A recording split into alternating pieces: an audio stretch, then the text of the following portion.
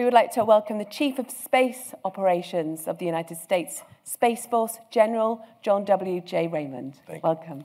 Thank you.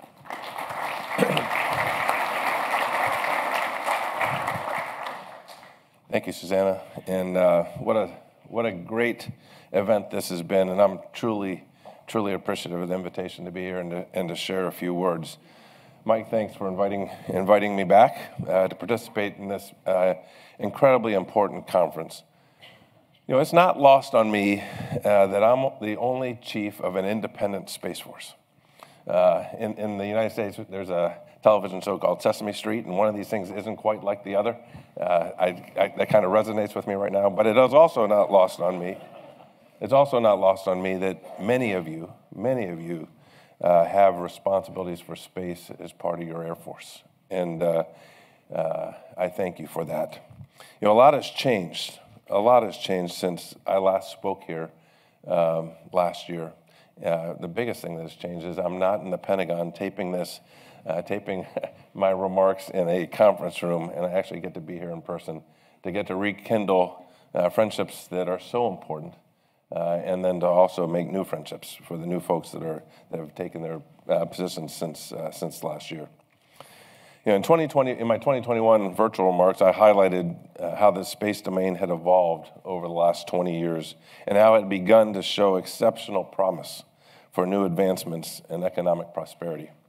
I also spoke about the increased threats to security within the space domain. Let me tell you, those points have, have only gotten stronger and the threats are no, no longer theoretical.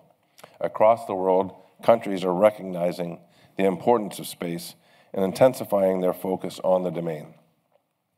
Over the past year or so, we have seen numerous partners stand up or in the process of standing up or establishing space focused units or commands, including the United Kingdom, Australia, Canada, Germany, and Japan.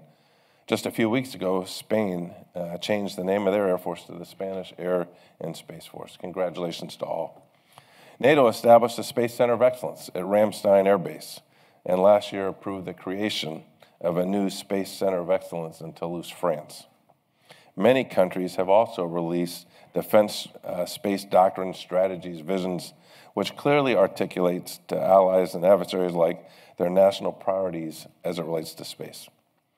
Venues like this conference are critical to ensuring we maintain our edge in space power so that we can deter conflict from starting or extending into space, and by doing so, deter conflict on the ground. As one of the space, as one of the United States' oldest and closest space partners, the United Kingdom knows this well.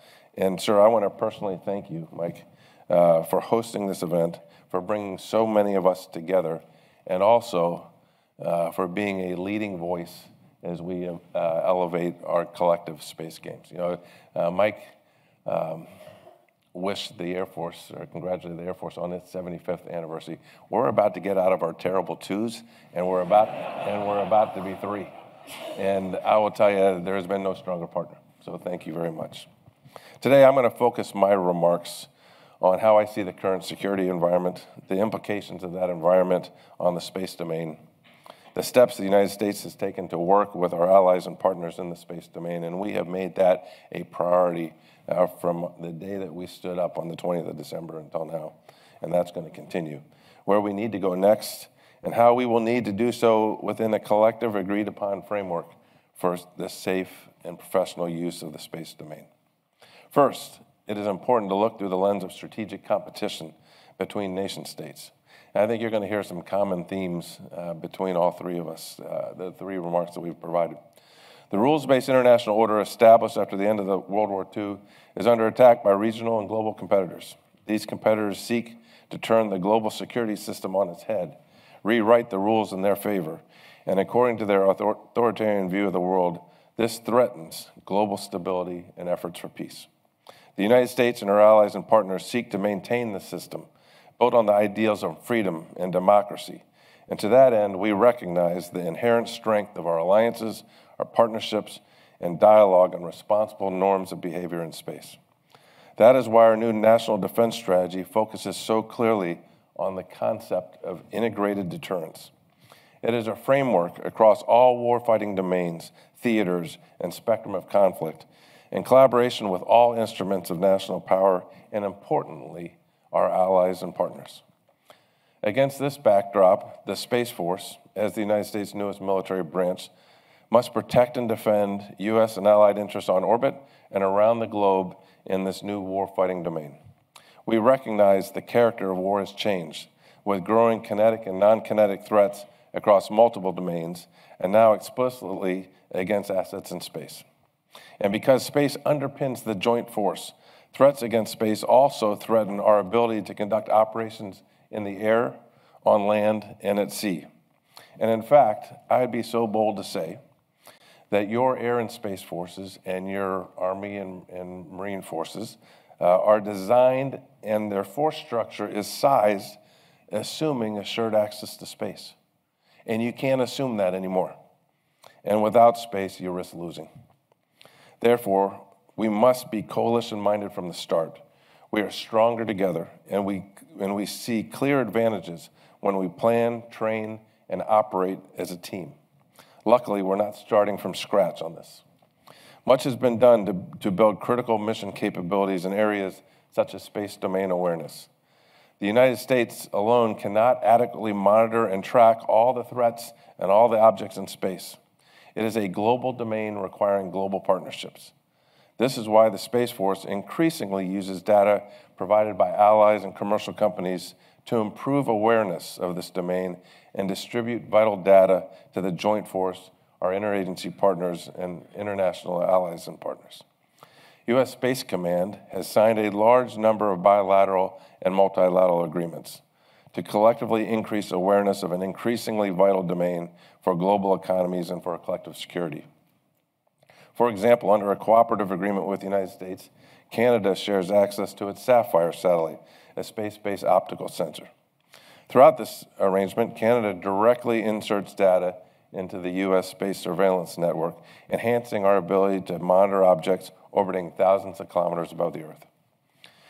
We seek to build upon these earlier efforts to integrate with our allies and partners. This is why we will continue to grow events like our Schriever War Game, now about to celebrate its 25th year anniversary with 140 participants and seven allied nations represented at the capstone event. The game is the Space Force's largest event to identify solutions to common challenges in advancing space support with an air, land, sea, space, and cyberspace. I have personally participated in many Schriever War Games, including the very first one 25 years ago. Some of my greatest learning moments have come from these games and from my interactions with our allies. We've implemented some real changes uh, from those learning mo- moments, like the creation of a commercial integration cell or an advanced C2 capability. We've also worked to improve cooperation, coordination, interoperability by implementing the Combined Space Operations Vision 2031, which we wrote in collaboration with six of our allies. This vision aims to ensure free use of space while encouraging responsible actions with an eye towards sustainability. Our competitors have taken the opposite approach, carelessly testing destructive low Earth orbit anti satellite systems that have littered space with untold thousands of pieces of debris, with some remaining a hazard for hundreds of years. I'll repeat to this audience Vice President Kamala Harris's announcement last April that the United States commits not to conduct destructive direct ascent anti satellite missile testing. I would encourage others to adopt the same commitment and appreciate those that have already done so.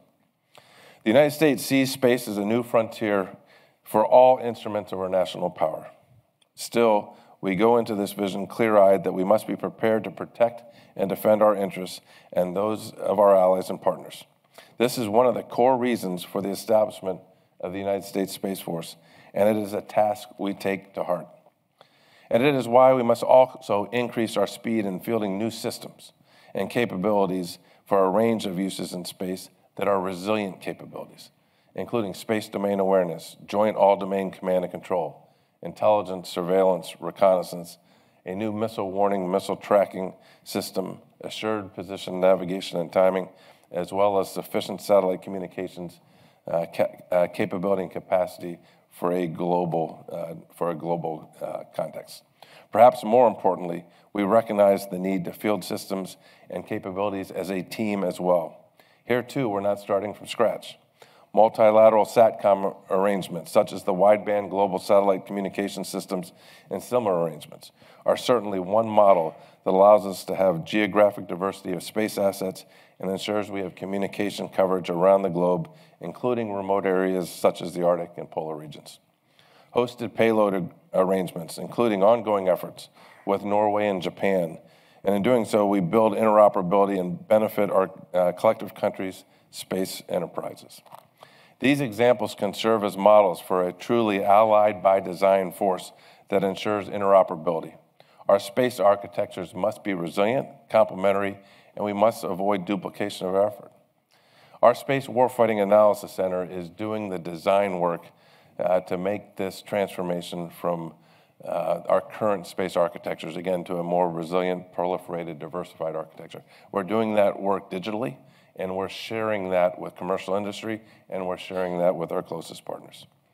Beyond these shared fielded systems, international partnerships and design know how are essential to maintaining our leading edge in research, development, and technological innovation.